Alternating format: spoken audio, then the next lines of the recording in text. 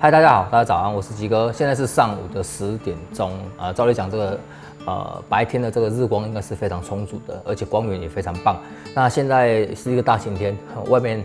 的这个光线非常好，所以我们只有室内打灯，然后透过外面的光线进来，其实我们就一个有一个很棒的光源的。那所以你现在看到影片呢，是使用 A73 搭配 Sigma 五十六毫米 f 一点四，然后呢，我们 A73 的设置是 ISO 三百二。然后，呃，这个快门速度是八十分之一秒，所以你现在看到是用自然光的，啊，这个方式来拍这个影片，呃，应该画质会蛮不错的，因为五十六毫米 f 一点四这个镜头本身画质就还蛮棒的了，而且还蛮锐利的。那没有打灯的情况下，你觉得画质如何呢？应该是不错的。所以等一下呢，我们也会来测试一下，我们使用 Aputure 幺二零 D 的这个灯打出来之后，然后再跟这个。影片做比对，你可以看一下整个画质，还有整个的一个颜色会有多大的差别。好，那你现在看到的影片的片段呢？我们一样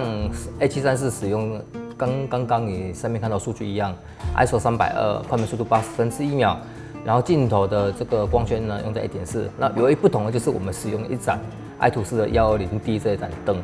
呃，我相信应该会跟刚刚有一点点的不一样。哦，就是在整个画面，尤其是我的脸上的这个肤质的呈现，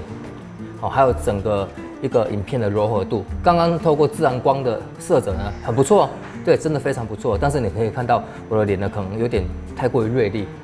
对，当然锐利不是坏事啊，但是对一些女孩子来讲的话，锐利就代表说她脸上的一些什么斑啊，或者是纹路啊，会呈现出来，好，所以女女生不会喜欢太。锐利这个光源，但是透过一盏这个灯打过来之后呢，也可以看到整个的画面都变得柔和了，尤其是我的脸。啊，这个肤质应该有所提升才对。所以呢，有一盏灯跟没有一盏灯的话，就算你的光源很充足，如果你有灯打下去的话，整个的氛围还是会很不一样的。所以呢，今天就跟大家做一个简短的一个简单的比比较，让大家可以有有所体会，有灯跟没灯的差距。那如果情况允许的话，我还是会希望你去买一盏灯，对于你影像拍摄的话，真的会有很大的帮助。好，这就是吉德今天跟大家分享的有灯跟没灯的一个最大差别。那祝大家今天一整天都心想事成喽！